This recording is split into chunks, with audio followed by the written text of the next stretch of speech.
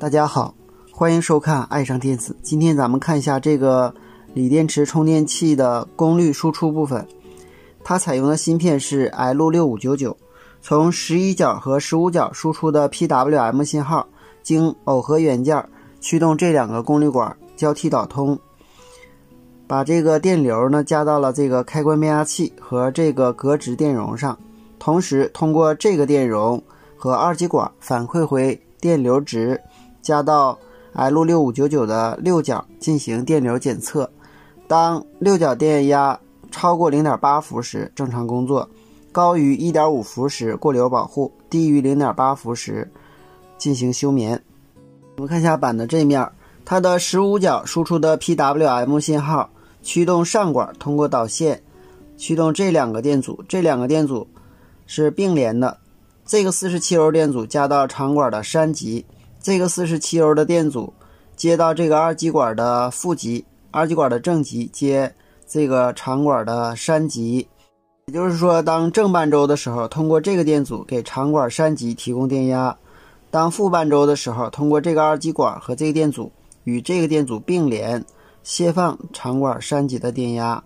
使上管工作在开关状态。它的下管是通过十一角输出的 PWM 信号，经这两个电阻。和这个二极管接到下管的山极，与上管是同样的。另外呢，它的山极对原极之间还有一个十 K 的电阻进行分压，这个是同样的。这个电路属于半桥式输出，上管的原极接下管的漏极，接开关变压器的初级一个引脚，开关变压器初级的另一个引脚接在这个隔直电容上，隔直电容这端是接 D。接在我们三百伏滤波电容的负极，上管的漏极接三百伏滤波电容的正极。由于上下管的交替导通，从而在开关变压器上产生交变的电流，在磁芯上感应出交变的磁场，在后极输出交变的电压。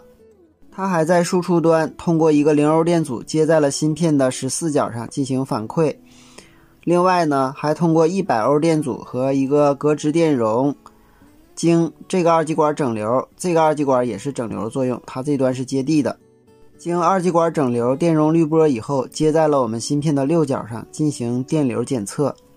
我们看一下这个图，L 六五九九十五角和十一角输出的是一组互补信号，也就是说，当十五角是正半周的时候，十一角是负半周。十五角的 PWM 信号经四十七欧电阻和四十七欧电阻，二极管串联加到了上管的栅极，十一角的 PWM 信号经这个四十七欧电阻和这个四十七欧电阻，包括这个二极管耦合到这个下管的栅极，